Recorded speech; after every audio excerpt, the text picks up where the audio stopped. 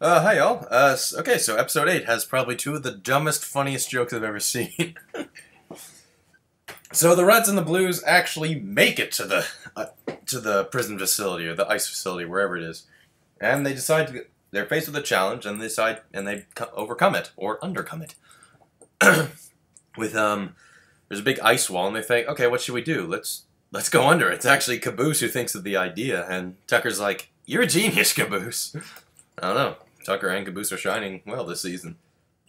Um, so yeah, they get there, and um, when uh, when a guard comes, Grif somehow conjures up four snowmen li- like that, and then Tucker kills the guard. Which um, was that the first time Tucker's killed somebody? Because I don't know, kind of neat.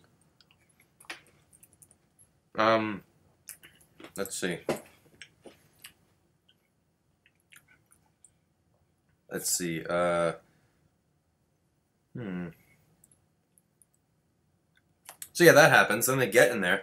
They get in the facility and they realize, okay, there's like we're here. The place is here, and there's a huge gap between there.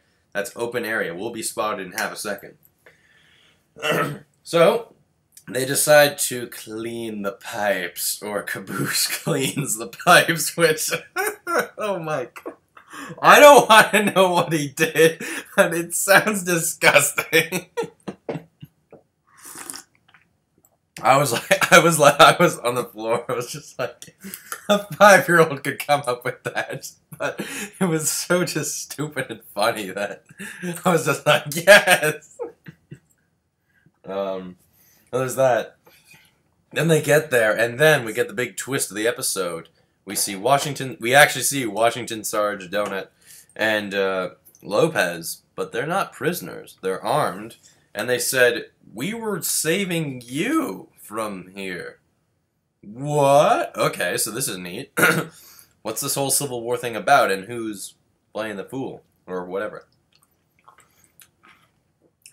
So yeah, a good twist leaves us off on a good cliffhanger and I'm curious where it'll go next. Um, what is this whole Civil War thing about? We don't really know much about it, so I'm really curious where that's going to go. Maybe it'll go somewhere interesting. Hopefully, it doesn't feel too needlessly complicated. But this sort of can go back into a little more with the whole, you know, Felix and Locus and who who are they really? So yeah, that's neat. So we got another strong episode. Uh, I think it's better than last week's episode. Uh, it's definitely funnier. But I'm still curious what that that thing that happened in last week's episode was meant for. But uh, we'll see. So, hmm, who knows? So yeah, episode eight is another strong episode. It's funny and it's a little silly sometimes, but ah, whatever.